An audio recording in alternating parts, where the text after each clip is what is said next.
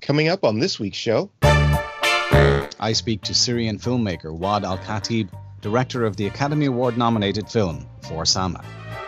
And I catch up with YouTuber Blake Calhoun to talk about the state of mobile filmmaking and get helpful hints on how to shoot at night on your mobile phone.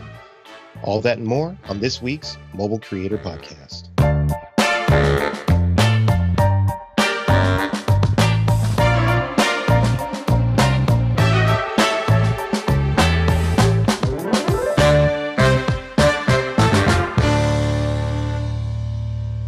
First guest on this week's podcast is a Syrian filmmaker who spent five years documenting daily life under siege in Aleppo.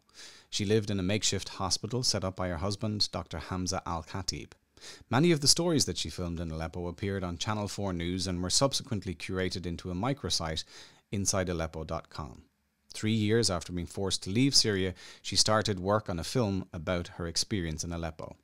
The film For Sama, named after her eldest daughter, went on to win numerous prestigious awards and even achieved an Oscar nomination.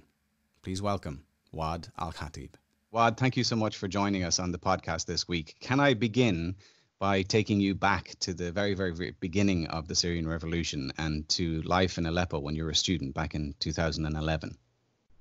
Yeah, uh, hi Glen. Thank you so much for having me. I'm very glad to be part in this great podcast. And yeah, when I was like uh, almost nine years ago, when I was student at Aleppo University, uh, I didn't know really like what I was like doing or what the future will hold for me and for uh, all the people who I know at that time. I just knew that I was student at uh, Aleppo University doing economics. I wanted to be a journalist before when I was like 15, but that like dream just like vanished uh, because I know that the, in, inside Syria it's very difficult to be a journalist, and with the military uh, state that we have, everything was uh, controlled by the regime, and we couldn't really like express any freedom or any feeling in, in any like sector in Syria. So when the Syrian revolution started and I joined the protests, I started to film by my mobile phone as so many other activists in Syria we felt at that time that this is the only thing we can do to save the story, to save what's happening, to save what was really like happening while the regime was denying everything. And over the period, I mean, you you documented daily life over a period of, of five or nearly six years, I think, wasn't that right? I mean, yeah. some of some of the footage, I, I remember seeing the very very early edit that you've just completed, and I was dumbstruck. I, I literally was speechless for nearly an hour after watching it because it just it um it resonates on such a deeply emotional level. Um, can I just ask you to talk me through the, the routine, the daily life routine? Like for instance, when you were in the hospital with Hamza, like what what was the daily routine like? What what was life like? I mean, like really, when we were there, we didn't expect that this is will be like kind of routine. You know we were living every day that this is like maybe kind of the last day or something. We we don't know what will happen next. Uh, like the shelling and the bombing was coming to every area in aleppo there was no safe place. Uh, there was no like even uh, like a shelter or a place where you can say like okay i'm i'm now here and i'm safe. And at the same time when you took the decision of being part of the revolution in Syria, where you took that decision that I want to go out to the street and uh, like being part of this protest, you know that you are risking yourselves in very high risk, and being part of uh, like people who stood against the regime, you know that the regime will stop at nothing to crush us, to uh, like destroy all the community. And for this, the shelling and the bombing was really attacking every area in Aleppo. Uh, but we had so much hope that what we are doing is the right thing. And if we didn't, if we stopped now, you know, like what next? What will happen? There is no return in this journey, and you need just like to keep going. So every one of us were like we were just trying to find our way of living, our uh, like thoughts about how we can like continue our work and find that hope every day. For me, filming was that uh, like things which give me resilience and give me reason of being in that situation. For Hamza, maybe like because he was a doctor. For Afra and Salim and so many people in the film, like there was something to do in that community to be part of this uh, like people who decided to stand and like just order and request their their uh, uh, rights. Uh, there are scenes in the film that that you know really are uh, emotionally harrowing is the only way I can describe it. Like very very difficult to watch. Um, that must have been amplified a thousandfold by you being present. And there's a very poignant scene in For Sama where you talk about witnessing something in the surgery and, and getting really emotional, how Hamza gets really annoyed at you and asks you to leave because he doesn't want anyone crying, basically, and you have to stay professional about it all. That must have been an occasion that repeated multiple times with, with the you know with the level of human suffering that you witnessed. How did you how did you stay so focused? I mean, you know, you at the time were not a professionally trained filmmaker, and yet you still documented what really were you know incredibly difficult circumstances and yet you kept going and you recorded hundreds upon hundreds of hours. How how did you keep that resilience going? You know like you have no option of not being like like this. If you couldn't stand in this way you just like you leave. That the least things you can do. I mean if you are in that situation and that's yeah could happen again and again so many times when you collapse behind the camera or when you can't like really see what you are even like film but the only thing that you know like i'm here for this moment i could be killed after a second i could be like killed after a minute and i just need to do my work before i will like be one of these people who are like dying. Uh, there is no other way of surviving the situation. The importance that i like really believe in uh, of any picture i got of any sound i got of any video it's more than uh, like my whole life. I know that I'm I'm risking myself myself every second, but I know that also like this worth it. Every people who we lost, every uh, child who, who, I filmed or he, who I saw in my own eyes while they were dying, you know, like filming and keep filming. This is the only way for me to keep going. Um, when when you look back now, you're in the UK, but you've you've been on the road for a two-year whirlwind tour is the only way I can describe it. I've I've followed your your journey, and you've been all over the world at, at festivals and showing the feature film. What would you say has been the highlight, like the highest point of that whole journey since the since the movie was released? Uh, it's a really hard question, and I don't know really. But I mean, like every event and every festival, and even I've been in the uh, the Mojo uh, last year uh, film festival, which you you had, and it's just like really every place and every uh, like people we met, every people who still like uh, every place we can be able, we are able to like give uh, people understanding more about Syria, about the situation, about that this is still happening, that will be like a very important place. Um, I really all of them for me kind of equals. Um, maybe I can like just highlight the BAFTA when we won and we I was able to get onto uh, on the stage, talk in front of like thousands and millions of people who are watching at home, uh, hundreds of influencers who they were inside the BAFTA theater. Um, like for me one of, one of this is one of the moments but also other moments when i got like message from people who live until today under the regime control telling me that what we've done in the syrian revolution is something they are proud of and they like all everything we've done everything the syrian people they've done it will never be for nothing you know like message like this i feel like it does i don't know when how and why these people watch the film and how but it's for me very important. Do you feel um, now that the the Oscar nomination and everything, which to a certain extent, from a from I guess from a notoriety or, or publicity point of view, was was a huge achievement. Do you feel now that there's a new phase to the whole story? I mean, you set up um, uh, for Sama, Help for Sama. What what's the new website that you've created?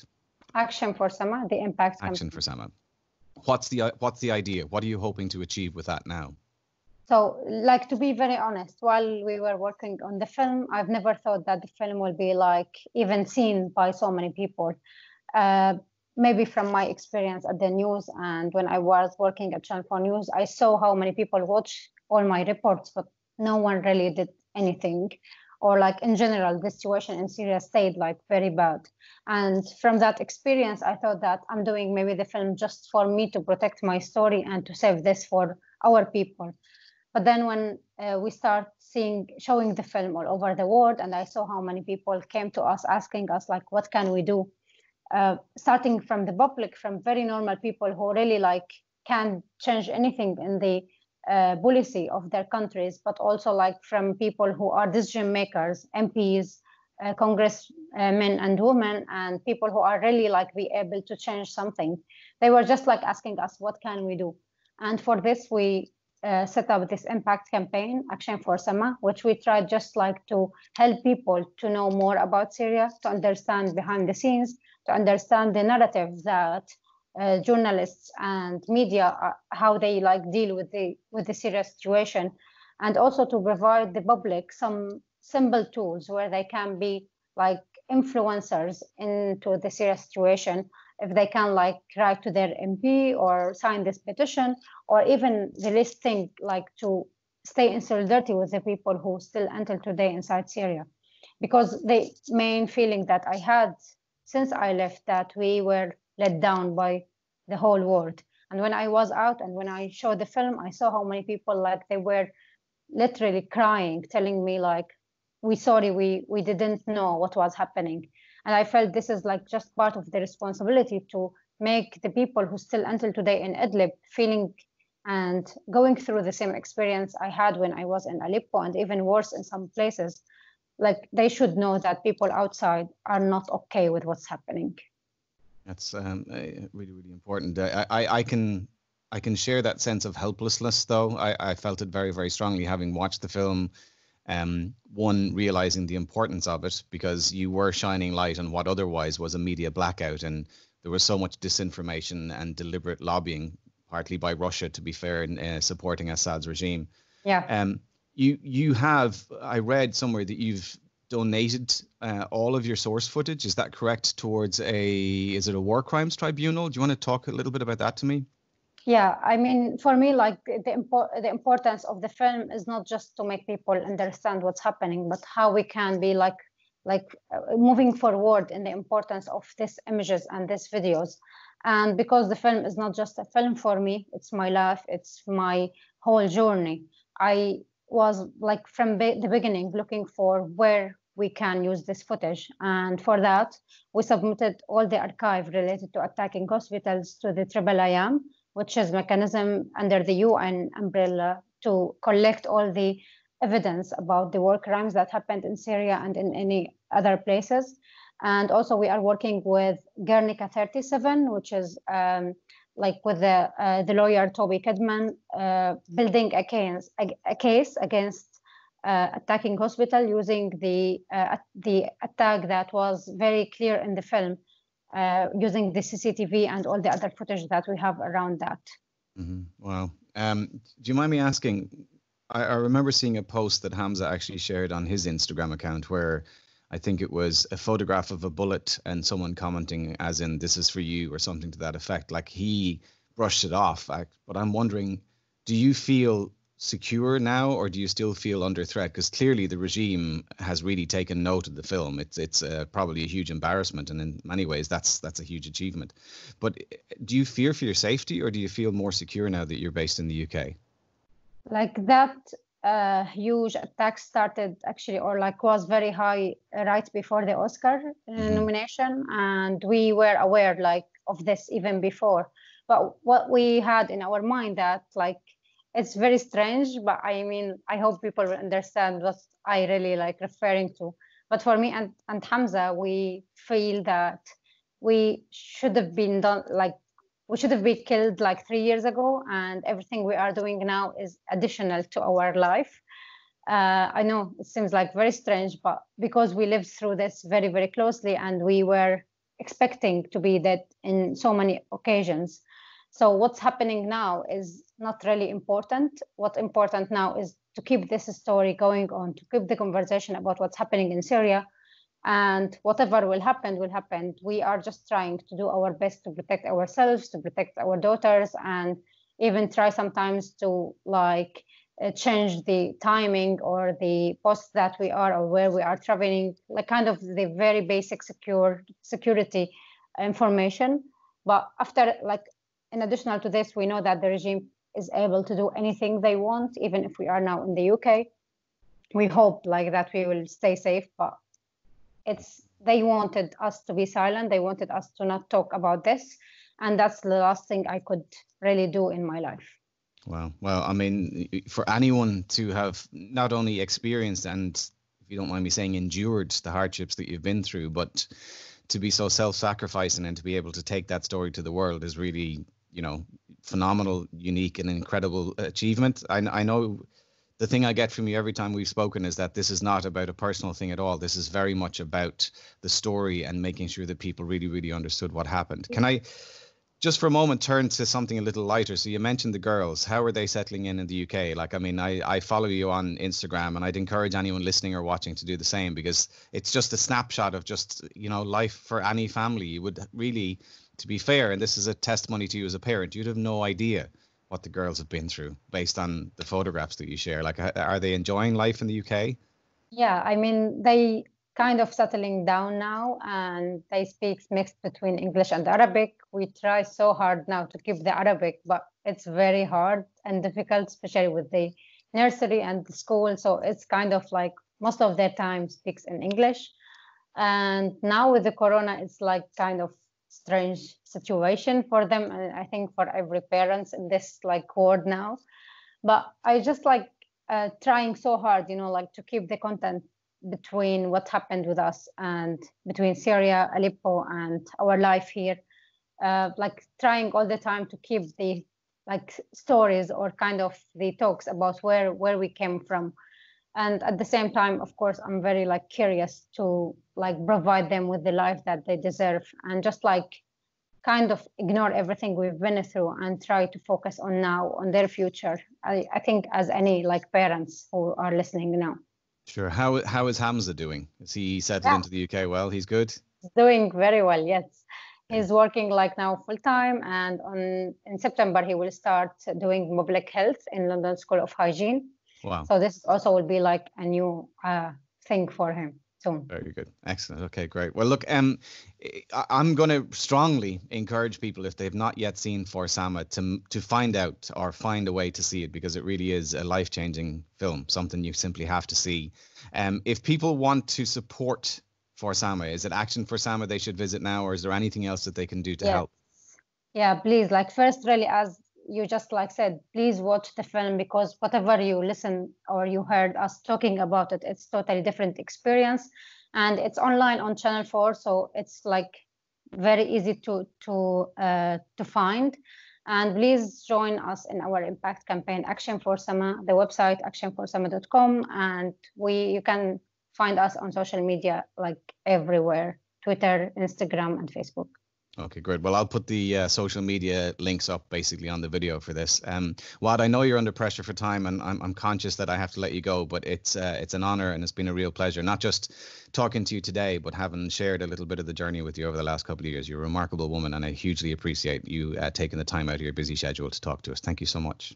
Thank you so much, Glen. I'm very glad to know you, and thanks for all the support that you've done through the years. Shukran. Shukran. I got a chance to talk to Blake Calhoun, who runs a popular YouTube channel dedicated to mobile filmmaking. Blake specializes in gear reviews, but he's also an educator. As a filmmaker himself, he has interesting perspectives on how to capture the best images using Apple and Android phones. And with over 100,000 subscribers, it's safe to say he knows a thing or two about the mobile filmmaking world thank you for joining me and uh, welcome to the show. Yeah, thanks for having me. Yeah. So, hey, um, first I wanted to talk to you about, you know, what is new and exciting in the world of mobile filmmaking because you are a thought leader um, and an educator uh, in this space, and I just wanted to kind of get your your sense as to what is new and exciting in this in in this uh, realm. Well, doing a podcast like this is pretty new and exciting. I've never done it quite like this. Being um, using an app. I'm talking to my iPhone 11 right now, 11 Pro Max. Right. Talking to you, and I'm using a Rode uh, uh, mic that I could plug into my camera, and I could also use it with mobile. And so, I guess the point being here is there's all kinds of exciting things, whether it's geared towards filmmaking or live streaming, which is big right now because of the pandemic, obviously. Right. Um, technology advances so quickly, but I'm always just amazed. We're always looking ahead to the next thing, of course. Right. And so the iPhone 12, I guess, has been rumored now for a couple months, and it's coming out in Septemberish, October. But the iPhone 11 is still the the top tier, I guess, phone right now. Right. Um, but I guess the point being is it's really just all exciting to me. Just it's moving so quickly. From when I started my YouTube channel back in 2012 with the iPhone 4S, I believe, 720p. I was I always say I was excited back then when I found Filmic Pro and I could shoot 24p. So my how times have changed. indeed, indeed.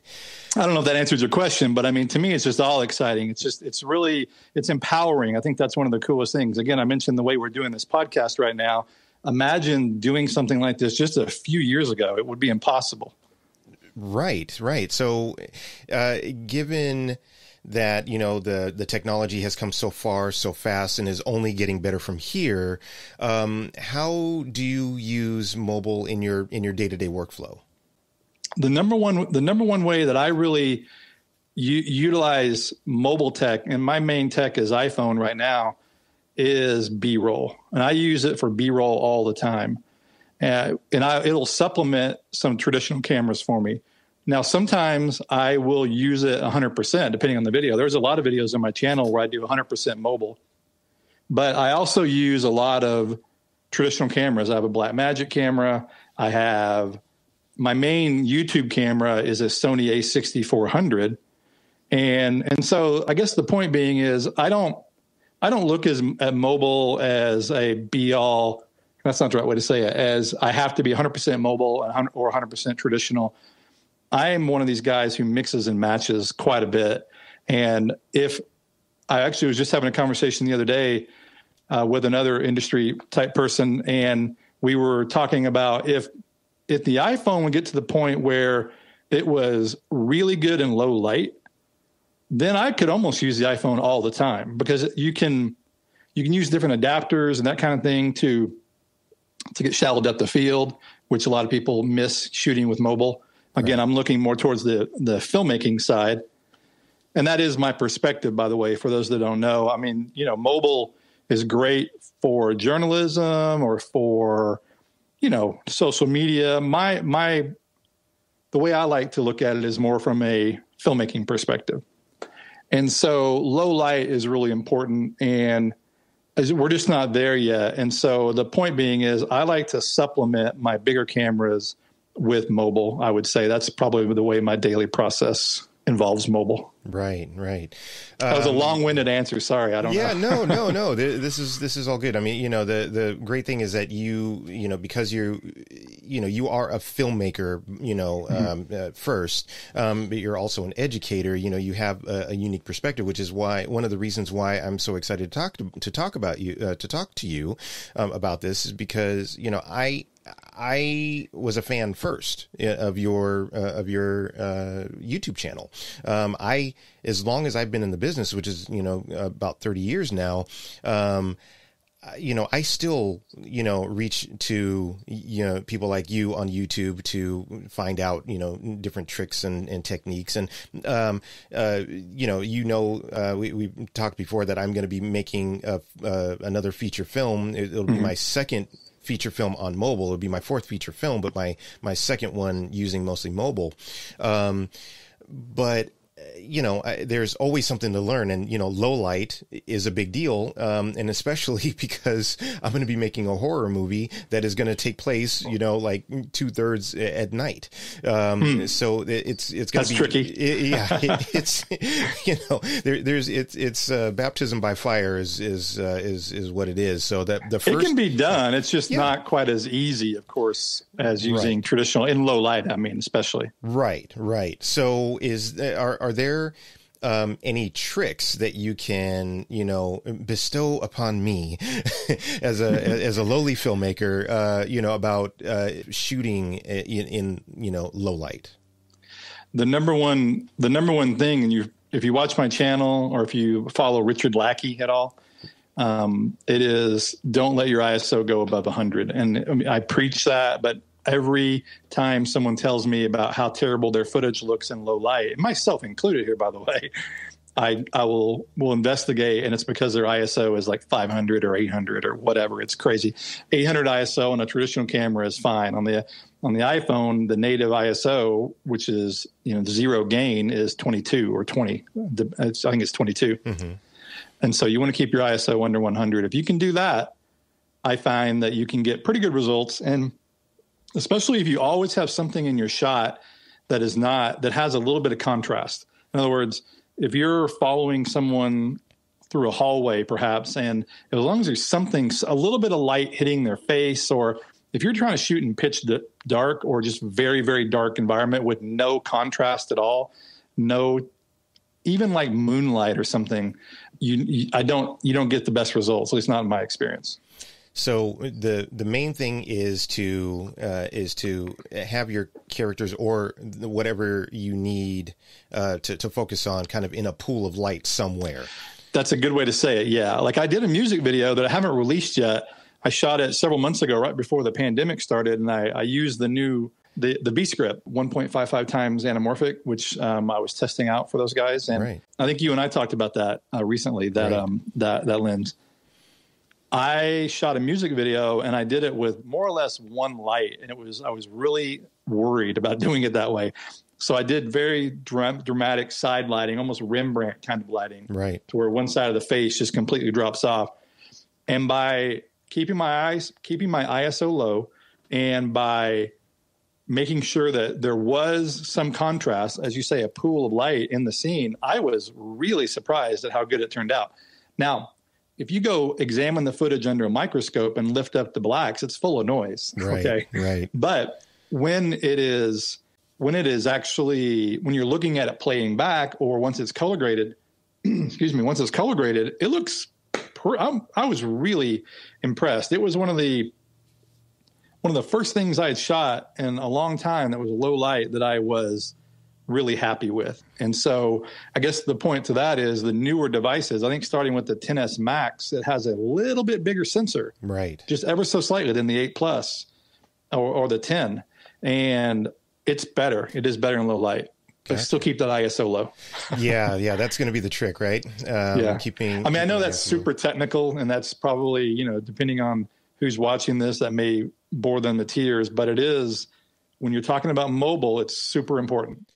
Right. Well, it's when you're talking about you know something other than an Alexa or a Red, um, you know, even with DSLRs, you know, you have to mm-hmm. you know think about it in that in in that sense as well. Uh, you know, I mean, maybe sure. you know, other than the the Sony A7 uh, uh, series. You S2, yeah, yeah, because those are low light beasts. You know, we're we're they not are. there with with mobile yet. No, um, no. But but you know what? I mean, as we've talked about before, you know, uh, the the technology is only going to get better from here, right? And so with the combination of the sensors getting you know eking up just a little bit, you know, uh, bigger and bigger every time, and mm-hmm. computational uh, photography and videography, um, you know, things. It, it won't be long before you're going to have have a low light beast that can actually fit in your pocket that you can use as a phone.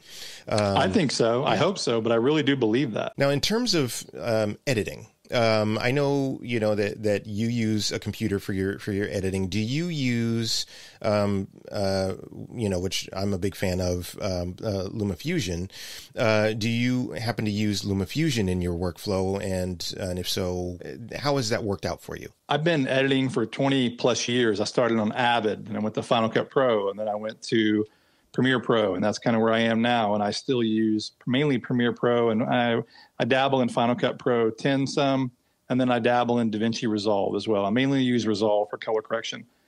But to answer your question, yes, I use LumaFusion, and I've started to use it a lot more recently because I got an iPad Pro uh, 2020 version. That's the 12.9 inch. It's beautiful, isn't that it? That made a big difference because what's that? It's beautiful, isn't it? Yeah, it really is and I just got the Magic Keyboard. And as a matter of fact, the YouTube video I'm working on right now is gonna is gonna showcase some of that. But I guess what I'm trying to say is the my iPad before it was an Air 2, iPad Air 2, which was a good machine. I still have it. it's just it was 9.7 inch, I think.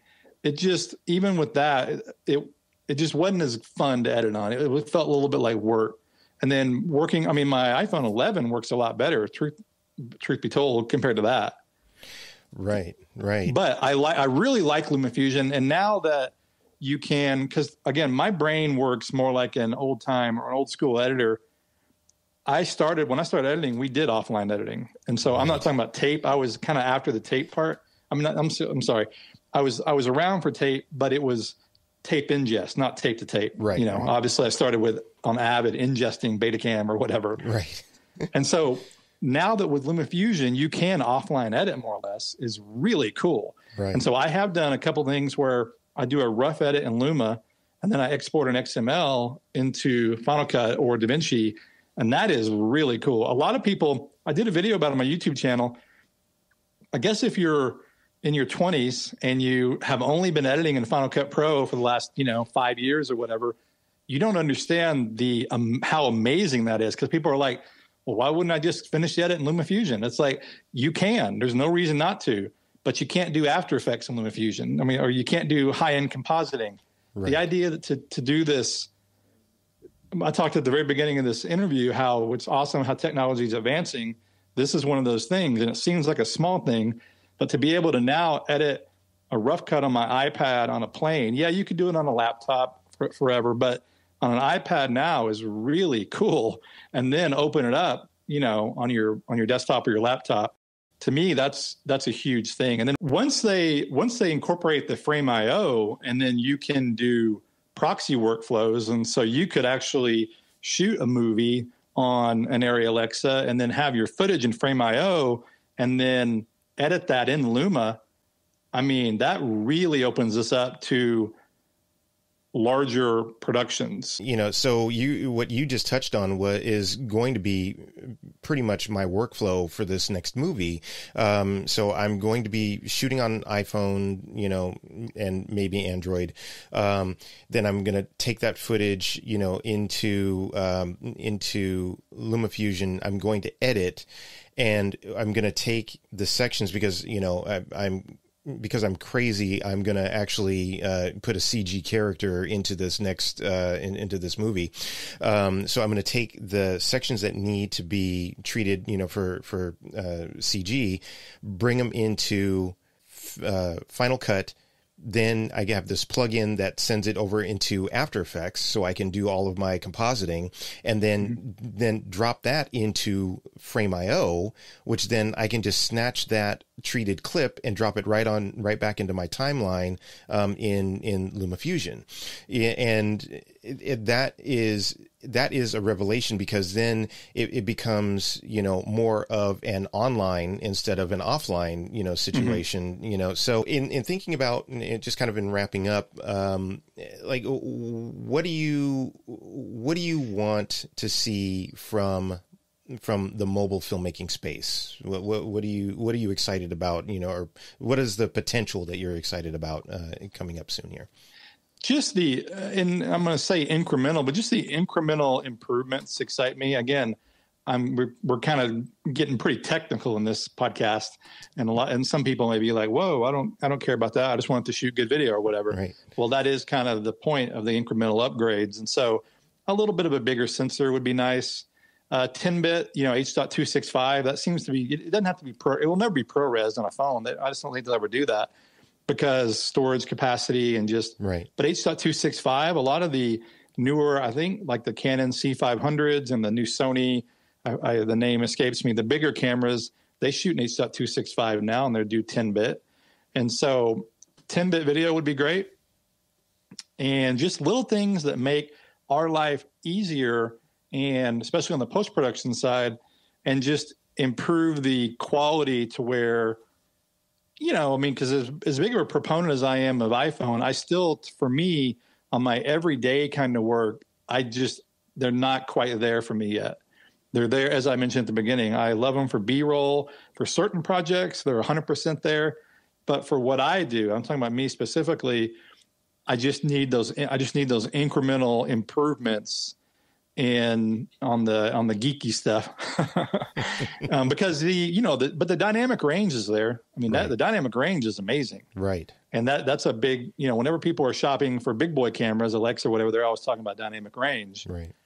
So that's good. But then you know i need better low light a little bit bigger sensor and 10 bit those kind of things. And i don't think those are especially the 10 bit I don't think that's asking too much, and Apple could do that in a heartbeat. Apple could do it. I mean, Sony is doing it with their new um, Sony Xperia. I always have to remind myself that we are the the the niche, though. In other words, True. They make these phones for the soccer moms shooting birthday parties of their kids, which is totally fine. I'm cool with all that. Yeah. But just like with the DSLRs and the mirrorless, those weren't designed originally for professional filmmakers. Right. Not at all. But they became popular because they were affordable and there was enough quality that's almost there to a cinema camera to where, you know, that next step up is it really worth the extra 10 grand for uh, two percent better camera kind of thing. Right, know? right, yeah, and and we are talking uh, at this point. We're only talking like small percentage points, you know, in, in terms. Yeah, of, no, you know, without question, in, in without question. Game. Yeah, yeah, well, great. So it's exciting. Yeah. yeah, it's, it's it's it's exciting. I think in the next couple years. I mean, I probably said this two years ago, which was true because from the iPhone I had an eight plus to the to the 11 to me is a huge advance and that was only a year and a half or so. Right. And so who knows in the next two years where we'll be because apple definitely puts out new phones on a yearly basis to make more money take more money from us. And they and they get it every time yeah. they get it. Yep. So yeah. Well good deal. Hey blake i really appreciate your time. Uh, thank you so much. Uh, where can people uh, see the, all the great stuff that you do well, my main hub is my website, which is iphoneographers.tv, or my YouTube channel is where you know all the magic is. I'm just That's kidding. Uh, and no, it is, is it is magic. It is magic. Oh, thanks. Um, it's iPhoneographers on YouTube, and uh, yeah, I'm doing weekly videos there, so I'm there all the time, and then I'm on Twitter quite a bit as well. So great. Great. All right, buddy. Well, I appreciate your time, and uh, I will be talking to you again soon. Let's do this again so right. we can, you know, keep the flow. Catch going. up. All yeah. Right. Good luck with your movie too. Thank you. Thank you. I I will be calling you about that. Okay. All right. Sounds For good. Help. All right. Thanks, Blake. Take care. All right. Bye. Well, Glen, it has been a great week since we launched, like literally a week ago, right? So, uh, have you gotten any responses? Have you have you seen anything from the community that we're trying to build here?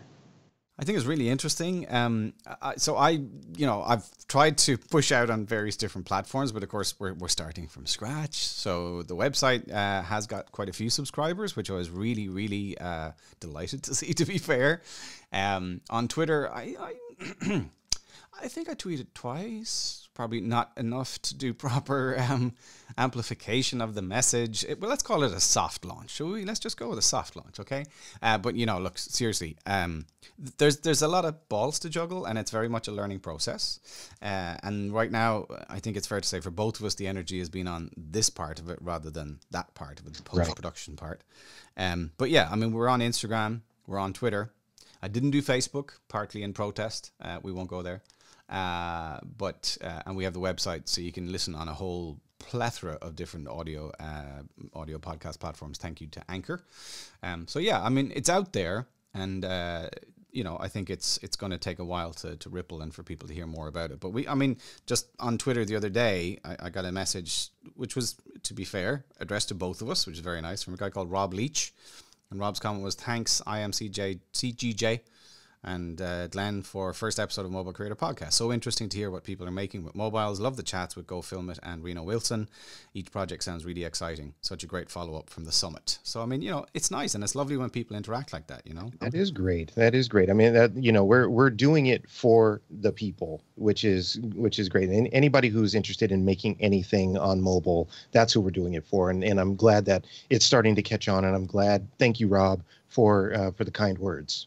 Yeah, I couldn't agree more. And I mean, you know, the other thing is, is like I would say this: if you're listening to us right now, please take this message away. Like it's it's great that the two of us can bounce ideas off each other about who our guests should be, but a huge part of our vision for the podcast is is to be able to tap into the part of the community that maybe we don't know yet So if you're out there and if you're listening, or if a friend of yours has tipped you off that the podcast exists, do get in contact with us. Like reach out via you know Twitter or what Instagram, whatever your platform is. You can email us via the website if you wish, um, and tell us your story. You know, we're looking for interesting stories. We want to hear case studies of people who are pushing the boundaries in mobile content creation, and it's not just filmmaking. Even though our first show was very much you know focused on the filmmaking side of things, we're just as equally interested in social media content, um, news, uh, documentary, like right. the whole plethora. If you're doing something interesting with a mobile, we want to hear about it. Absolutely, absolutely. And speaking of doing things interesting with mobile,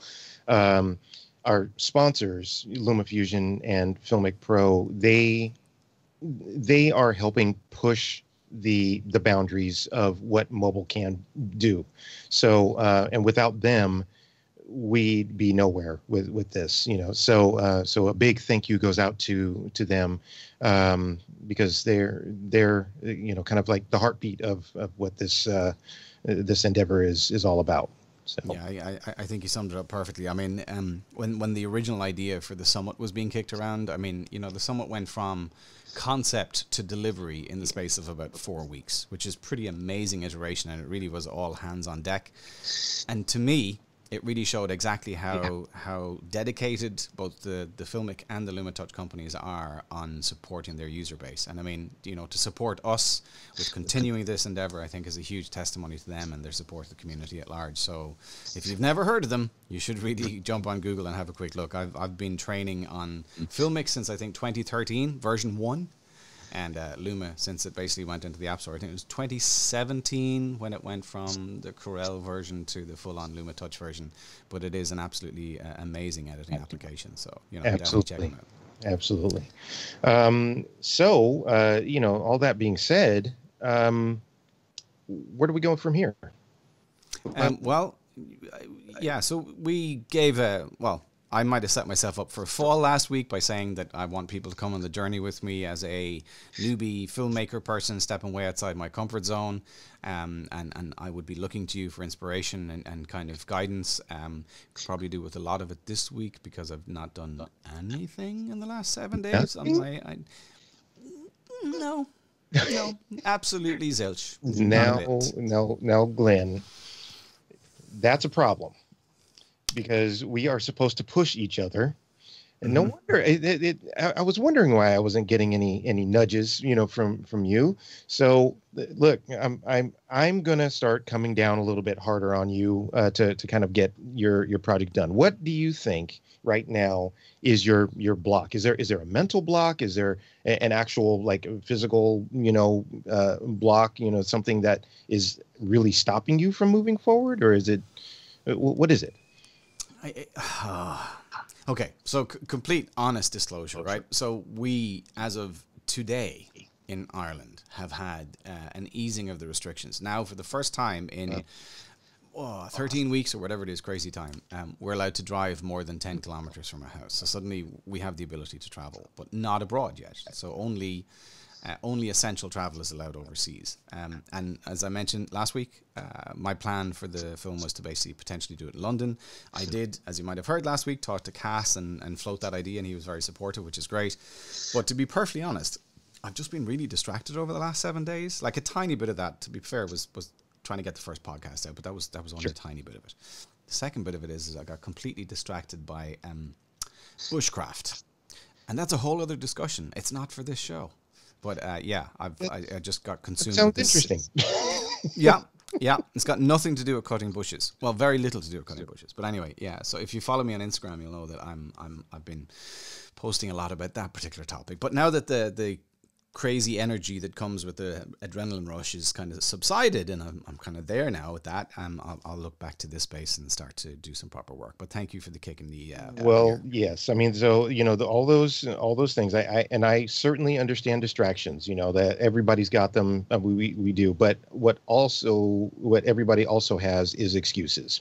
So no more excuses. Remember we are using this time period as an excuse to have no more excuses. Remember, right. excuse to That's have no more excuses. So, um, so to that end, you know, the the things that I've been doing with my feature film, trying, trying to move things forward, and is number one, I, I tell myself I cannot have any zero percent days. So if I get one percent, it's a win right? So uh, it, I I will crack open the script and I will just write a few words, you know, and the the scriptment as we talked about, which is you know is more of a more than a treatment and less than a script. So it's not all of the dialogue uh, necessarily. So what i am doing is putting starter dialogue in for for my actors. So I'm, I've, I've been doing that and i'm almost done with that. But i've also started doing some storyboarding and previs. So wow which is an essential, you know, part to doing most productions, um, not not necessarily all, but most, um, and in this one in particular because it is a horror film. So, um, but one of the things that I have been doing is getting my gear together, you know. So you could also be doing that, you know, because I know you're a gearhead just as much yep. as I am, mm-hmm. Um, and you know, kind of you know to kind of touch on on what's happened is um, for those who are uh, seeing me uh, right now on the uh, YouTube channel, I'm holding up a uh, Beast Cage, which is a uh, it's a device that you put your phone. Uh, this one is particularly for the iPhone 11 Pro Max, um, and you you put your phone in it, and then you can attach your your your lenses you can attach you know audio gear different handles you know to be able to um, turn it into a full-blown you know dslr style um, uh, piece of kit but then i also got for what's going to be the second camera is a beast grip pro and there's a bit of a, a shine on that but a beast grip pro which is very much the same thing except you can put any phone in this one. Um, mm-hmm. It's not specifically made for any for any particular phone. Um, I got filters, which is something that you need black um, uh, black pro mist filters, uh, so you can take some of the uh, video curse off of the uh, off of the so it, it softens it a bit and you know kind of uh, does this halation kind of around the highlights, you know, so it it, it, it makes it all nice and soft and and film esque. Um, and then I've got a couple of lenses, uh, which are interesting from Beast Grip as well. Um, I've got a telephoto and a wide angle lens, and uh, and then an interesting piece of kit, which I really kind of want to talk about also, is an Apple Watch.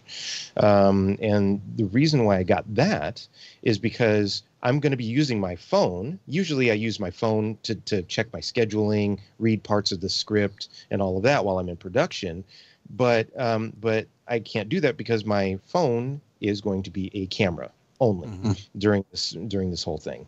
So while I got, I got the, the the Apple Watch, so I can check on my schedule, you know, just to make sure that I'm I'm you know going on schedule uh, uh, during the shoot, but also be able to use Filmic Pro's uh, remote app for the second camera, so I can I can trigger the other camera and monitor what's going on uh, in, uh, in terms of the the image in uh, in that other camera from the watch, which I think is pretty revolutionary. I had a Gen 1 Apple Watch actually, and have to be perfectly honest, I've only used it for Filmic Remote and the heart monitor. Probably more for the latter one, to be perfectly honest. But it is great when I'm on courses. It's it's often a topic when people are talking about doing pieces to camera for news.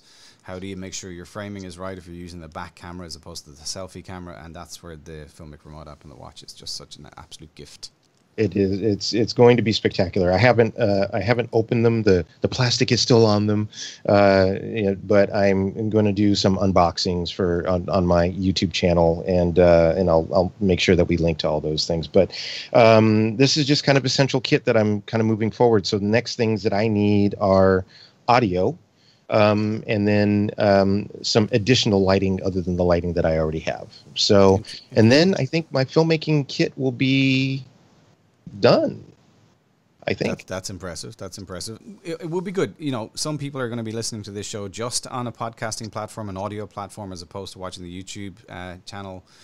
Will you or can you uh, either post or share a couple of photographs of the kit that you've just mentioned? So, you know, if someone is a complete newbie, hasn't even heard of Beast Grip or any of the other products you've talked about, at least there's some frame of reference for them. And as you said, we'll definitely go and send some links actually in the in the YouTube and on the website. I guess we could do that too. Absolutely, absolutely. I, I can. Uh, I'll I'll put together uh, some some snapshots, but then maybe what I'll do is on my uh, on on my website, what I'll do is write an article about everything that I'm using, and then I'll I'll just kind of have you know a full description and how I plan to use it and all of that kind of stuff. So that'd be great, and we can share that then on, on all the platforms as well.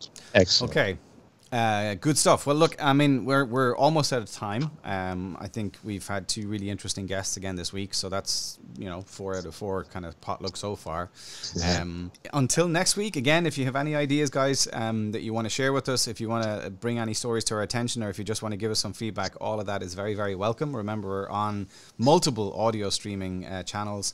You can find us on www.mobilecreatorpodcast.com. Um, and uh, we'd love to hear from you. And uh, hopefully, you'll get to hear from us again Friday next week. Until then, bye for now.